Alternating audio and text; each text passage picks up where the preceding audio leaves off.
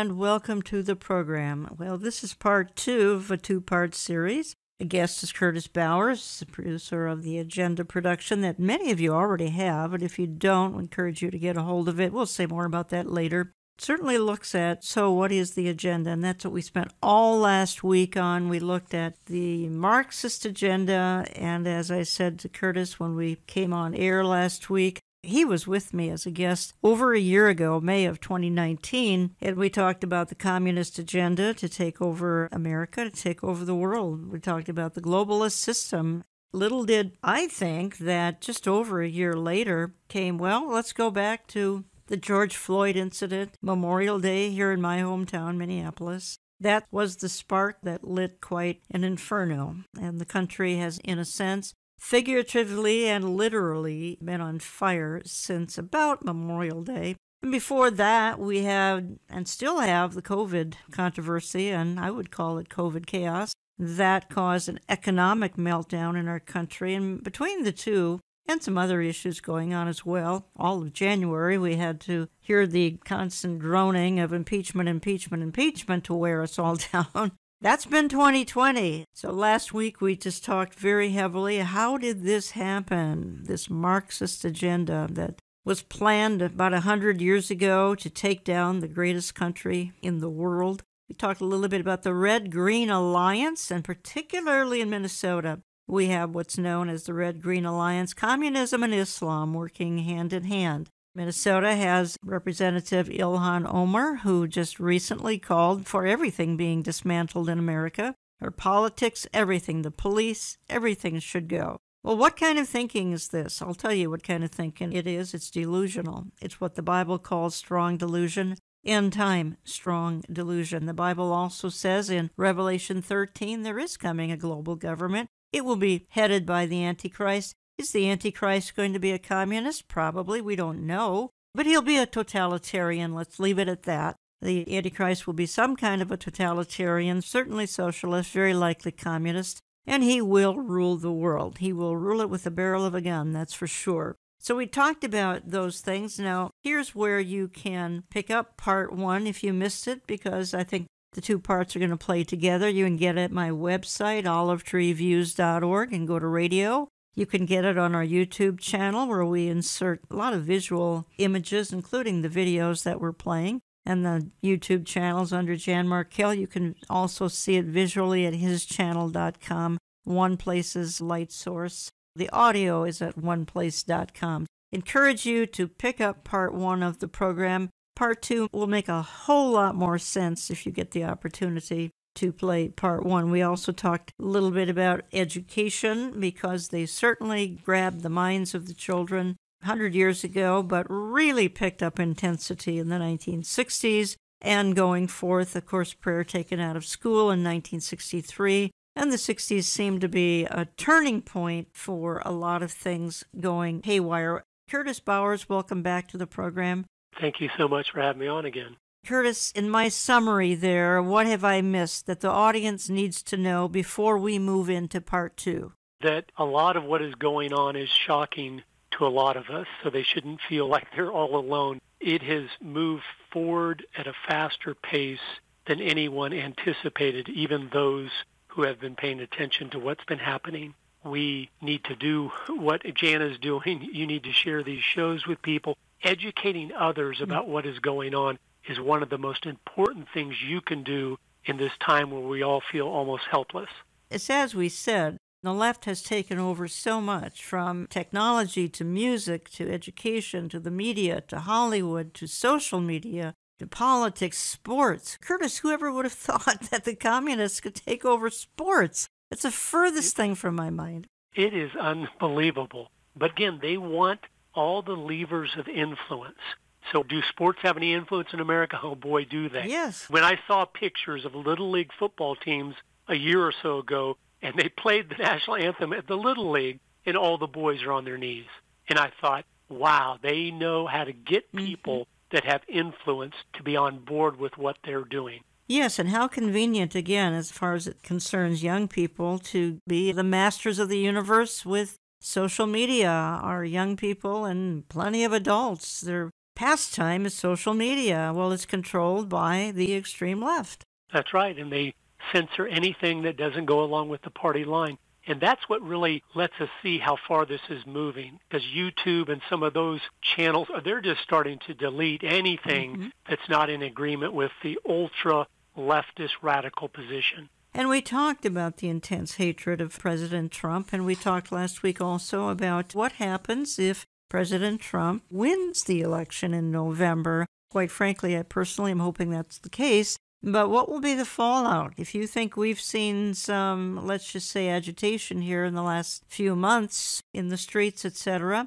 maybe mild compared to what's going to happen if the president is rewarded with a second term. We don't know that, but when we see the passion behind the leftist agenda, I am concerned that if the president wins the election in November, we have a meltdown. If the president loses, our country's handed over to a Marxist ideology. And I think you said in a 100 days, right, Curtis? If they get the House, the Senate, and the presidency, yes, I think in a 100 days they would accomplish more than they have in the last 100 years. And why do you say that? Because the president's been in office three and a half, almost four years. But why do you say in just a 100 days this is going to be lightning fast this will happen this time? because they're not playing games anymore. They're not even pretending to be pro-American. They are trying to sink and destroy openly and clearly. So I think the AOCs and all those different people, if mm-hmm. they really had the majority in the House and the Senate and the presidency, they're going to just implement these things at lightning speed because that's what they want to do. What happens is when you get voted into power, it gives you the illusion that everyone's for you so you can just do what you said you're going to do they especially have always fallen to that. They just start moving ahead with their agenda. I think if that were to happen, it would just be the Green New Deals and all those type of things sure. would instantly be put into law, and our life here would change immediately. Biden has already told us, like in charge of gun control, Beto, and he is for total gun control. Right. We know a lot of these things from what they've said openly, the direction they're going, if they have the power next time, I think they're going to use it. They're not going to gradually step through things like even Obama did a little bit. They're going to move forward because they don't want to take a chance of losing control. Interesting. And then you said last week that 90% of those on the left in the Democrat Party leadership, 90% are Marxists. Bluntly, Trevor Loudon has said the same on this program. I know that's shocking to a lot of my listeners, and I think we need to clarify too, Curtis, We've got some believers listening who choose to vote Democrat. You know, that's your choice, folks. The potential consequences of this can be so grave if, in fact, it's true, and no one's come after you or Trevor Loudon to say, you know what, you're a liar, that 90% of those on the left are now following the Marxist agenda. We talked about that last week. Why don't you back that up right now? Take a minute if you go to the Communist Manifesto mm-hmm. and look up the 10 planks of the Communist Manifesto on your computer, you'll look through that list and you'll see that they agree with every single one of those. And they also agree and believe in the fundamentals of Marxism, which is this. It's the belief that the good of the many outweighs the good of the few. That doesn't sound too bad on the surface, but when it's implemented from the top down, it always ends in the abuse of the individual because all they are going for is the good of the many. And of course, the individual doesn't know what's best for the many, so you have to trust government because how would you know in your little town what's best for the world? So it puts you in a subservient position to just accept whatever they say about the environment or about mm-hmm. socialism or about how we're going to do economic reforms in the world. It makes you subservient. And as we see over the 20th century, every time when it was implemented, it abused the very people it was supposed right. to bless. So that's how we know because they agree with all the Marxist positions and therefore that makes you a Marxist, whether you know you're one or not. They might not even know that. They might not. That's who mm-hmm. they are. I want to deliver here what I promised both last week and kind of going into program two here, and that is how is this affecting the church? It's affecting the church lots of ways, but one way would be social justice. I'm playing clips, folks, from the product we carry. It's in my store, it's in my newsletters, and it's the Agenda Twin Pack DVD set. And so you're going to get two DVDs that Curtis has produced. He started producing these almost a decade ago. And as we said last week, some folks have said to him, How did you know when you started making these films? Which, by the way, it's an award winning film. He nailed everything. He really did. And that's because he studied this, frankly, since he was a kid. We're playing heavily off of the Agenda DVD, the Twin Pack. I'm going to play a clip here because our target this hour is just how is Christianity and your church in the crosshairs? Christianity has always been the main target because they knew with a strong Christian church, their plans of a one world government that requires a one world religion to succeed would never be possible. And I think that's why Christianity is a religion that people intent on despotism don't want around. The surest sign that the elites in our society are up to no good, just as the founders of our country predicted they would be, by the way, is that they're trying to get rid of Christianity. Because Christianity is what encourages people, emboldens people who live according to good conscience, acknowledging God, to stand firm in the right. Step one was to remove God's Word, the absolute authority and standard of the church. It's as if the uncomfortable things that hold us accountable have slowly been scrubbed from the message from the pulpit. What was sin 2,000 years ago is sin today. And that's a message I think we need to hear quite often from the pulpit, and I don't hear it that much. Research shows the majority of Americans don't believe anymore that the Bible is God's Word. But a more amazing testimony to the left's success is the vast majority of seminaries in America don't either. Curtis, explain how and when were the seminaries infected with this communistic message? We know from testimonies given to Congress back in the 1950s when a few of the top communist officials defected away from communism because they started to see it wasn't the right path. They were interviewed before Congress. And a congressman asked them, What have you been doing to take America down from within? And they very eloquently state that because of their limited numbers and just the few people they have that are faithful, the number one thing they had been going into to make a difference to take America down was the seminaries mm-hmm. since the 30s. That's why the mainline denominations were taken over back then in the 30s and 40s because they have a hierarchy. So it's much easier to take over. You just work your way up to those positions and then you are in control. But then it continued on and they realized the evangelical church that had sprung up because those churches, the mainline ones, had all fallen away. They didn't have a hierarchy, and so it was much tougher for them. So then in the 50s and primarily really in the 60s, they started going into the evangelical seminaries as fast as they could to get their degrees and then stay on and be the professors so they could teach the pastors. And that is mm-hmm. why we have seen the dramatic change in the evangelical church over the last 50 years. Plus the death of discernment. Totally gone. It's so far gone. Jan, I think we were talking about yeah. this earlier. I have had the blessing and privilege of traveling all over this country for the last 10 years with my family. We've been in hundreds of churches in 43 different states, and that's the number one thing I was even telling my children after one of our trips. I go, kids, you know what's happened to this country? We have lost discernment. It was rampant in the churches, the pastors, so many places, people didn't seem to have the fundamental discernment to know what's, what's good for their kids or not good for their kids or good for their church or good for their congregation. So we have a crisis because of that. And then we have here in the summer of 2020, what comes along? And it sounds so good because black lives, they really do matter. Of course, all lives matter, I maintain. Then this organization comes along in the summer of 2020 following the tragic death of George Floyd here in Minneapolis, Minnesota. A lot of pastors, a lot of churches said, This sounds good that we honor black people, African Americans. My goodness, haven't they been oppressed? It just seems like a noble cause. What's wrong with this picture, Curtis Bowers? Well, again, they didn't dig in to see is it really about what they're saying That's right. About? That's the discernment to go, let me look at this on the surface. One thing that should have been a red flag is when you see the destruction going on, you go, wait a minute. Mm-hmm. The fruit of righteousness, the fruit of truth is never revolution, ever. Destruction and destroying, that's never the fruit of a good movement.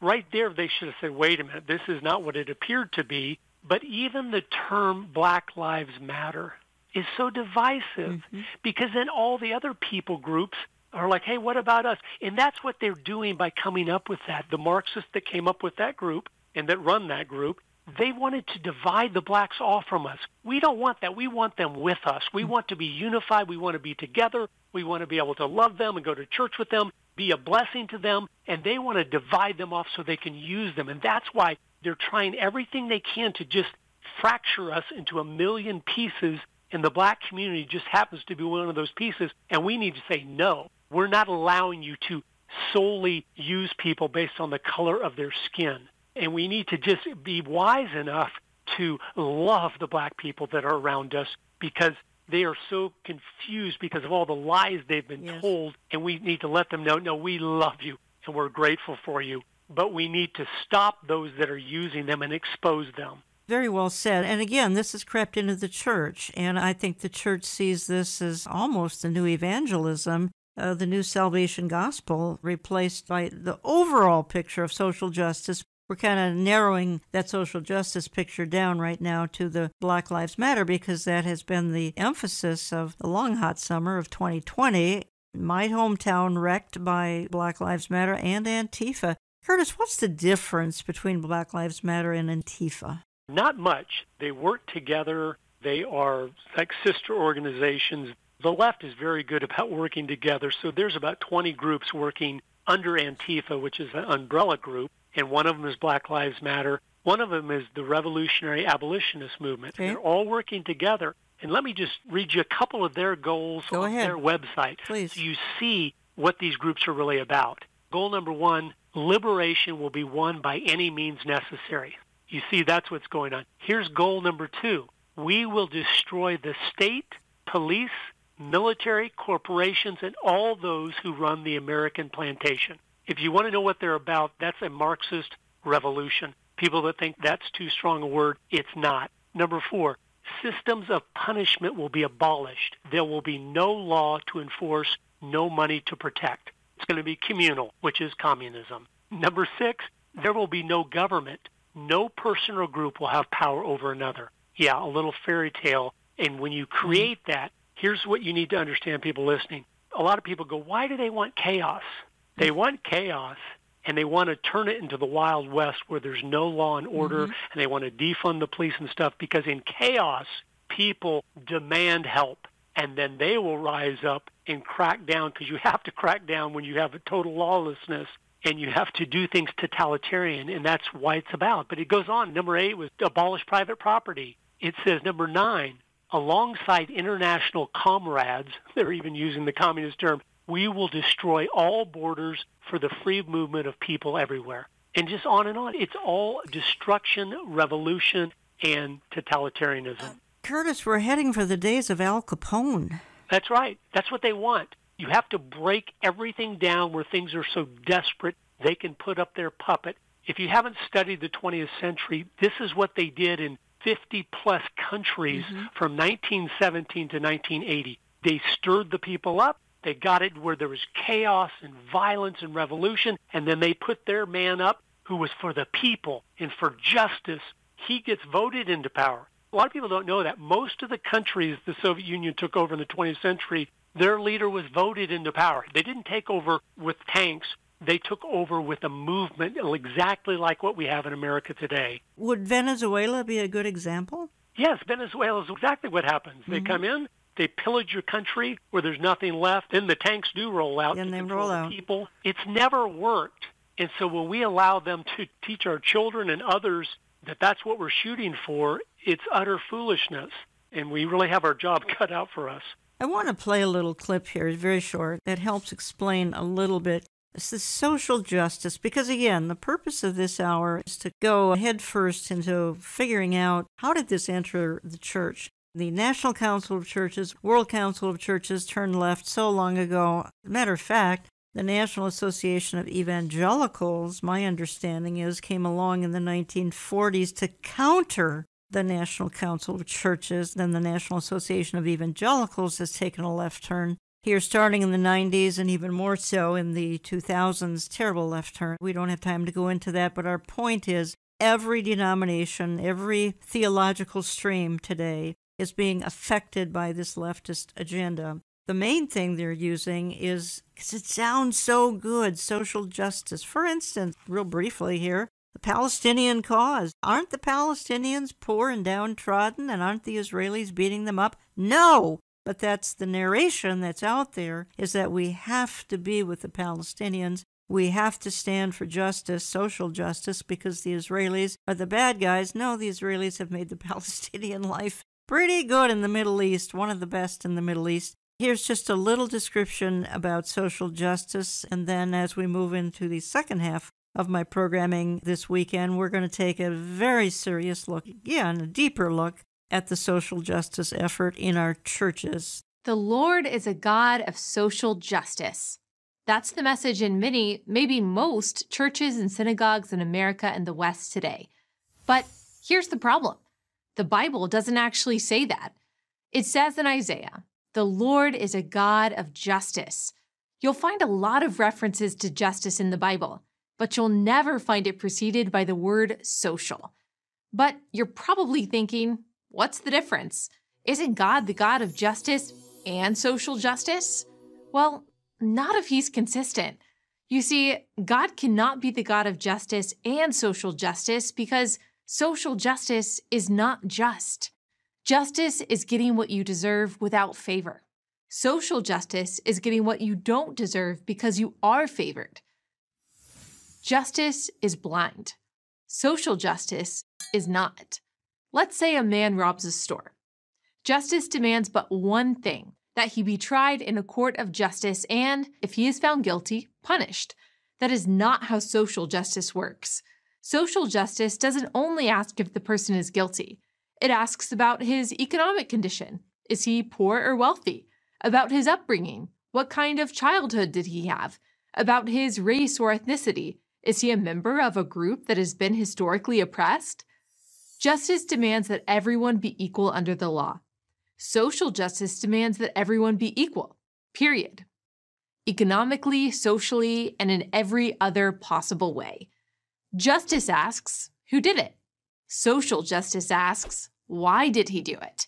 Curtis Bowers, somehow the weapon of social justice, as you write, has become the world's salvation gospel. I don't know how it happened, but it did. Yes, he who defines the terms wins the argument. And that's what's happened on so many fronts. They have defined what things mean, but they've not used the correct dictionary definitions. They have modified them, and it's a very powerful weapon against us. Social justice was started by the Marxists as a way of hijacking the church. They knew they needed a special movement that would use Christian terminology that would sound very Christian and biblical and even throw Jesus into the mix if necessary to get them to be working at these do-gooder social gospel type things. Even Dr. Walter Rauschenbusch, who started the social justice gospel back in the late 1800s, he very interestingly enough was a member of the Fabian Socialist yes, Society, uh-huh. which what was their goal? To socialize the world. The goal was socialism. And that's what he laid the foundation for that they're going on today of turning the church as an instrument to promote socialism instead of spreading the gospel of Jesus Christ, right. which gives everyone hope and everyone. It's just amazing how they do these things. Well, it's like you say, churches are losing their young people, many of them anyway, and they're susceptible to being swallowed up by radical groups if they want a cause, and young people certainly want a cause. And again, Black Lives Matter sounds like such a noble cause. Then we get back to pastors not preaching messages that are going to keep young people in the church because they're not preaching messages that help us cope with our times. Not all pastors. And thank you to you pastors who are holding to truth and we really, really are so thankful that some of you are out there. I hear from some of you, and I love it when I do. If you'd like to learn more or reach out to Curtis, do so at agendadocumentary.com, agendadocumentary.com. If you'd like the two DVD set, Agenda Twin Pack, this is a wonderful, well, nearly a college course on how did this terrible dogma of Marxism in the last 100 years make the impact it has, and particularly in America.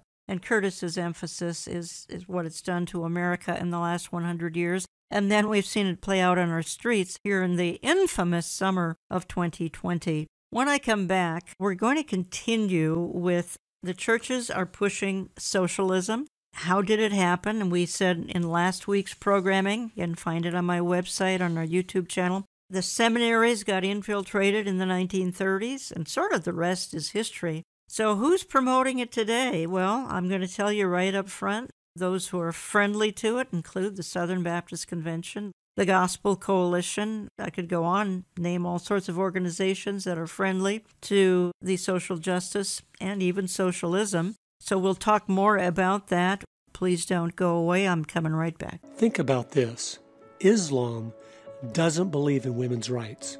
It's fine for a husband to beat his wife. There's no freedom of speech. Any who disagree are executed. Homosexuals are stoned to death. Pornography and alcohol are punished with a beating. And yet the left loves their system, one that stands against everything they claim to support.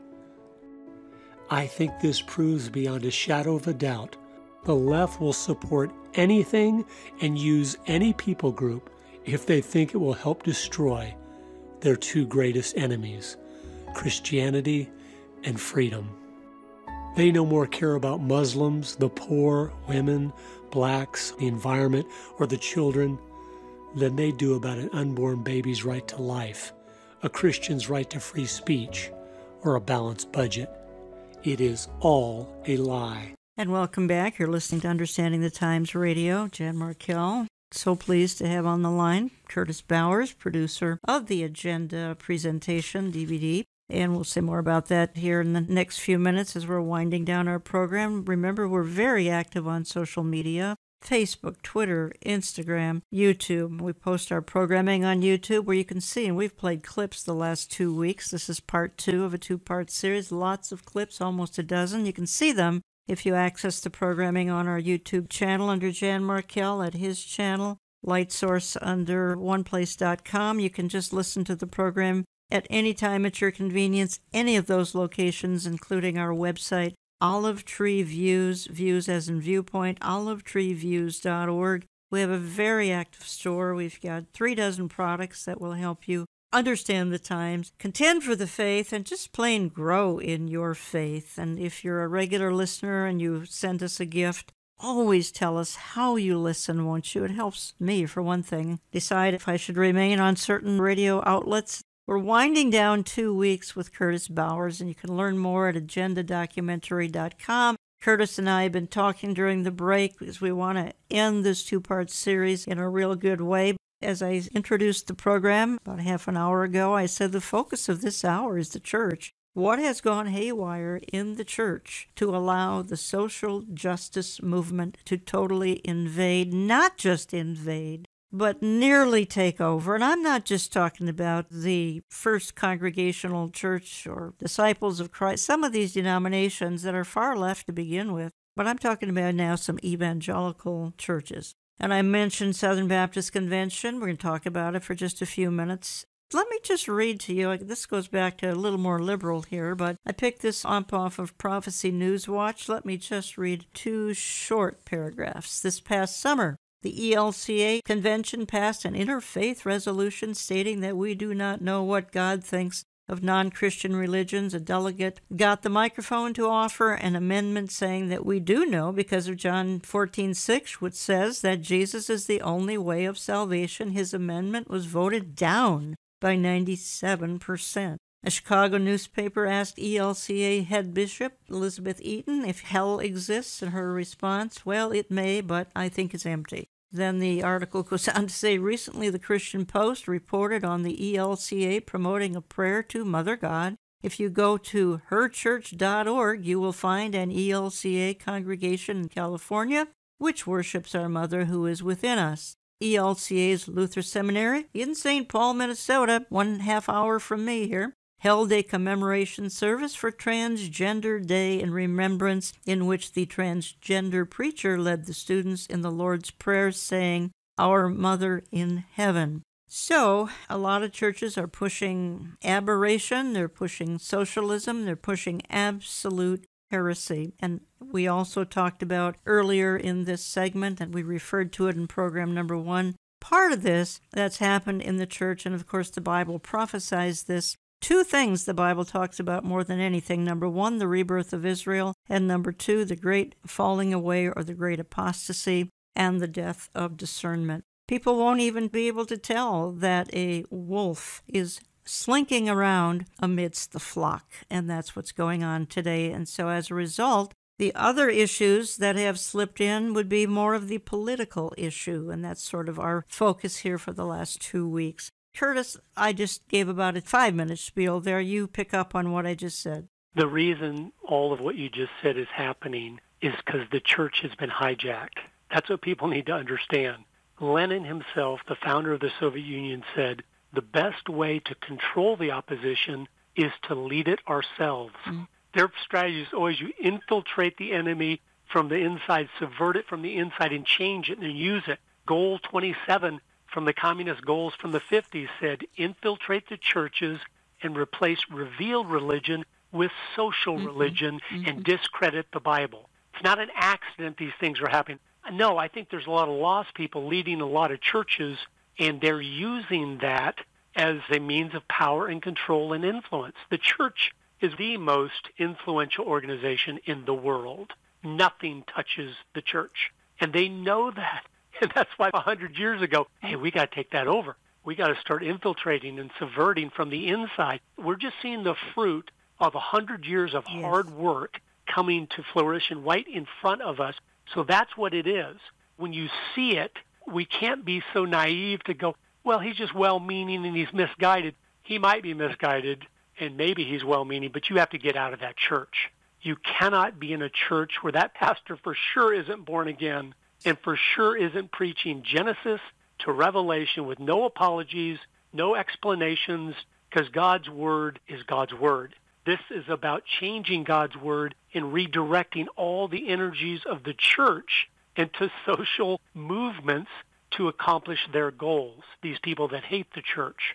Something I came across, and I've actually done radio on it, would have been many months ago now. We began our discussion with the social unrest in America, our cities being attacked literally, some of them having huge destruction. Behind all of that, generally communist outfits, Antifa, Black Lives Matter, Communist Party USA, Democrat Socialists of America. There's so many of them, there's probably 20 groups. Most prominent would be Antifa, Black Lives Matter, some Soros backed groups. I came across in some of my study here this critical race theory, and I don't want to dwell on it, but I want to get it out there because critical race theory, we're back to the racial issues. Critical race theory is going to suggest that whites are at the top of the privileged mountain blacks are below whites, lesbians and transgenders, they're beneath whites, and we need to be catering to all of these who might be in a minority category. But that the Southern Baptist Convention has so bought into critical race theory. There are a number of clips I could have picked off in the internet and played. I actually did that some six months ago. There are professors at Southern Baptist Seminary who are pushing critical race theory. And then you personally, Curtis, have some issues with J.D. Greear. But first, I want you to respond to this critical race theory because, again, they're playing on the issue of race, which seems to be the new sacred cow. I think 10 years ago it was global warming, but now it seems to be race. It's always something to divide and conquer, whatever it is. Divide the homosexuals off, divide the transgender off, divide the black people off, divide and conquer, where they make people so fixated on this one aspect of their life instead of the fact that, hey, all of us live in this wonderful country and about 90% of the things we agree on. We appreciate being free and we appreciate a lot of things. They don't want us to see any common ground between us. It's just another very strategic, intellectual sounding movement to divide mm. groups off each other so they can turn them against each other and cause more chaos, okay. cause more destruction like the little phrase from the 60s, the issue is never the mm-hmm. issue. The issue is always the revolution. Everything they're doing is about the revolution. It has nothing to do with the issue. It has nothing to do with the climate or black lives or the homosexual movement. They could care less about all those people groups and all those things, but they will use anything to their advantage so they can have a revolution. And we are just seeing that unfold. Did you want to comment about any of the leadership then? Well, it should be a sign to all of us when we have pastors and some of the leaders and I'm not specifically wanting to just pick on J.D. Greear, but I was watching some videos of mm-hmm. him speaking at a church, and I realized, wait, wait, wait, this man is in love with the culture. His hair was all messed up. He hadn't shaven. His shirt's all messed up and wrinkly and untucked. And I'm like, this is the head of the largest conservative denomination of churches, 35,000 churches or whatever. And he is so disrespectful of that position, he's just trying to look like a teenager, and he's not a teenager.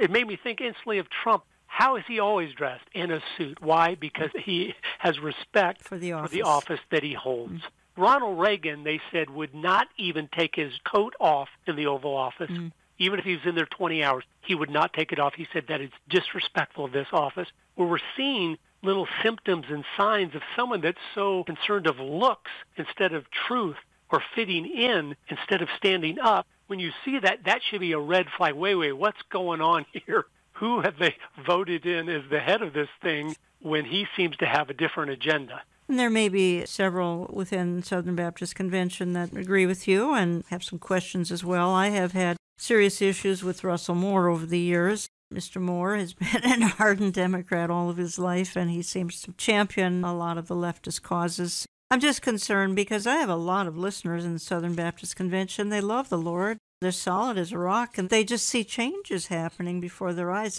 Look, I've reported on the Evangelical Free Church in that they gave up the premillennial return of Jesus Christ and inserted the glorious return taking away premillennialism, it's a huge thing to be removing, folks, because it opens the door for apostasy. So I'm trying to be an equal opportunity offender here and not just pick on certain denominations. You know, I could reference some things going on in the assemblies of God too, and I have wonderful AG listeners. I hear from them all the time. The things that are going on are leaving no denomination behind, is all we're saying. You want to take a look at some of the things going on in your church and find out the positions that the leadership is taking. Would I be right there, Curtis? Yes, and we're not at all saying all Southern Baptists are no good. If you're in a good one, you keep it good. You get there and hope to have accountability and get to know that pastor and make sure if you're getting a new pastor, you know what you're getting. And if it goes so far that the ship is sinking, then become an independent church or whatever. You don't have to be dependent on that denomination is what I'm saying. And if sure. you love the Lord, make sure you're in a church that is loving him by speaking all of his truth. And if you are, thank the Lord for that and keep moving forward. But if you're not, you cannot sit there and reward a pastor. I don't care if you've been there 30 years, reward a pastor with your tithes and your presence when he is not doing what God has asked him to do as a shepherd of God's sheep. You need to really think about that. I've been talking to Curtis Bowers here for two weekends as we look at some of the issues of the day as we see our cities and towns and states being literally attacked. We carry his DVD agenda, and you can get that in my store, the Twin Pack, and it talks about when this happened, why this happened, how it's happening, who the major players are. What I'm getting some emails from folks saying, my pastor got behind the pulpit this past Sunday and praised for 40 minutes Black Lives Matter. This is an evangelical church. And I'm hearing from evangelicals out there that the pastors are getting up and saying, well, we got to support this movement. In one church, he had all the African Americans stand. I mean, that's fine. There were many in the congregation that were so uncomfortable with what was going on here. I'm not suggesting that that church has been infiltrated by the Marxist agenda. It may be. What would you say, Curtis? A lot of times it is, and again, it might be a well-meaning guy well-meaning. that's bought into this stuff. Here's the thing: we don't push things that are using black people. If you want to have an outreach to the black community in your community, that's wonderful, and you do things and be a blessing to them. But that's real people. We're acting like they almost get separated out from being human beings and individuals. This thing divides them off. They are just like us. They are. And they need love. They need respect. They need a friend, and they need a Christian there praying for them. This causes so much division, even the talk of it. We shouldn't be looking at people based on their skin color. we should be loving everyone Amen. and being kind and considerate and sharing the gospel with everyone and speaking the truth to them. We just seem to be caught up in all this nonsense that's not accomplishing what it says it's going to accomplish. And I think this is what was making these folks so uncomfortable. Those who are writing me saying this is what happened in our pulpit is what they register with what you're saying. They just could not make it compute when the pastor got up and singled out everyone who was African American when my listeners agree with what you just said. Let me quote you here because you've written extensively here on social justice. And you say this social justice is simply the left using Christian terminology to sell socialism to the church. They can manipulate churchgoers into voting for radical leftists, promising to help the poor with more government programs. Those programs, of course, only enslave people in dependency and guarantee a leftist votes. And then you say, so now loving your neighbor really means tolerating your neighbor, and tolerance means accepting them just the way they are, to tell them they are sinners in the need of a Savior is hateful and therefore can no longer be done. This, of course, eliminates the sharing of the gospel and stops us from doing the most loving thing we can, telling them the truth, the good news. That is what is so evil. Socialism wants to make sure everything is fair and equal. So to pull the sinner up, you have to ignore their sin. Two more sentences here. You say, and you can't have moral standards in anything, because by doing that, you are suggesting that everybody's way of doing things isn't equal. Well, that's hateful. And slowly you lose all standards in everything, and that is what's happening today. You conclude, share the good news of the gospel. Socialism eliminates repentance because nothing is sin. Everything is the result of things not being fair, so the churches are full of lost people. Very well said, Curtis, as we try to analyze what is this social justice emphasis, how has it happened, just what is it all about, and what is the wreckage? The wreckage is people having a false sense of security by thinking fighting for these causes is what Christianity is all about instead of being born again.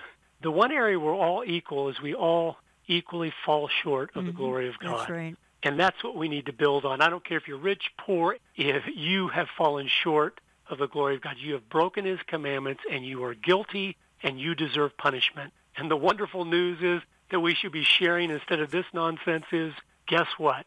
A Savior came to die and shed his blood for your sins so you can be free of having to pay that penalty by going to hell. That's some good news for everyone. If you're poor, if you're rich, no matter who you are, black, white, yellow, it doesn't matter. God died on the cross, and that's the focus of the church is to live in such a way that he looks good when we share the gospel with him because we are loving, we are kind, but to share that message. And when you don't share the message and you just give the guy the food and you don't tell mm-hmm. him you gave it to him because you love Jesus, you are doing that out of pride to look good or feel good, and that itself is sin. And this whole social justice movement is sinful because it's making us look good or feel good instead of Jesus looking good. You say the social justice movement, which is Marxist, is taking down the evangelical church, so we need to be aware of it and understand it. It's a deadly lie that is corrupting the mission of the church and the true gospel. It's becoming their religion and it is a false religion. You and I both speak out very strongly against this social justice movement as we're saying this, Curtis, we're making some who are listening extremely agitated, extremely angry, to be honest, because I guess maybe they've drunk the Kool Aid and they think this is the cause of the 21st century, at least in the church. Those of you that might feel that way that are listening, the reason you might feel that way is because you've been told something different, and so it's a conflict of interest type of thing. The only reason we are saying that is, like we stated earlier, John 14, 6 yes. says, and Jesus said unto him, I am the way, the truth, and the life. No man cometh unto the Father but by me. That's a reality whether you like it or not. And the social justice movement says, no, no, good works get you there, and loving your neighbor gets you there. Those are all fine things to do if you're doing them out of a love for the Savior. But if you're doing them so you can reject a Savior that has died for you, then they are prideful and sinful and will wind up sending you to hell it's frustrating because the only reason we speak truth, the only reason Jan's speaking the truth and I'm speaking the truth is because we love you. And we are commanded by God to share that good news to every creature. And that's what we're trying to do. And sometimes it's hard to swallow when mm. you've been told something different, but you need to prayerfully consider what is being said. I believe it was the first program I read an email. I'm not going to read it again, just summarize because I get so many that say things similar. This one happened to be from Maria, and she had heard the Michele Bachmann program, which now is perhaps even a month ago.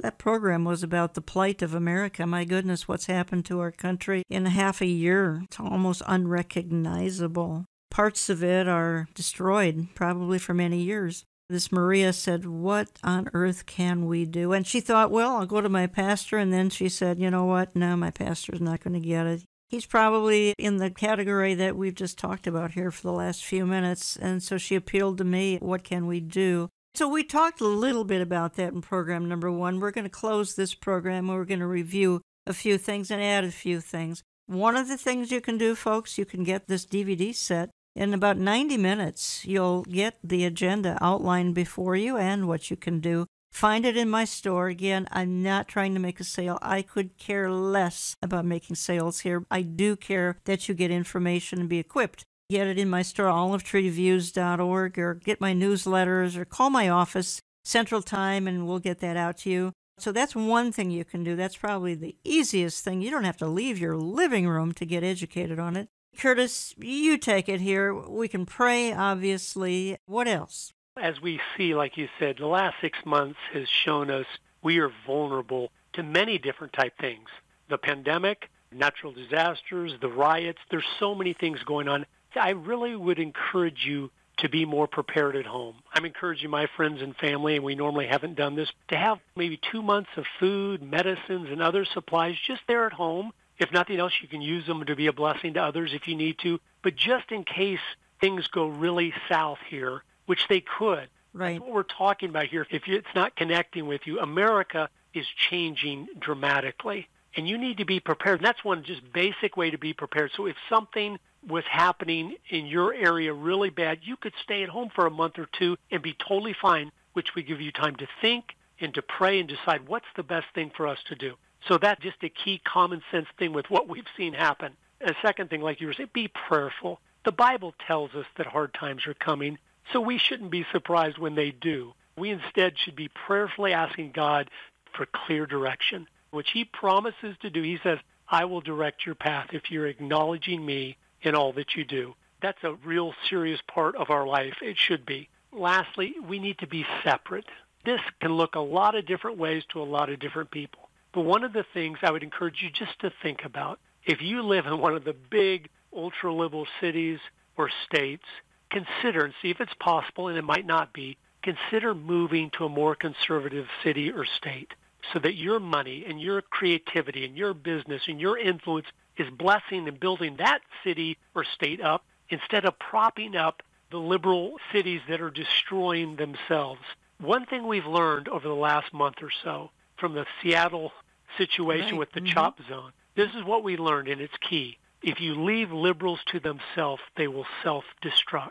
If you leave the radical progressive Marxists, they will self-destruct because they do not have the tools of character and virtue and morality to be able to sustain freedom and liberty and life.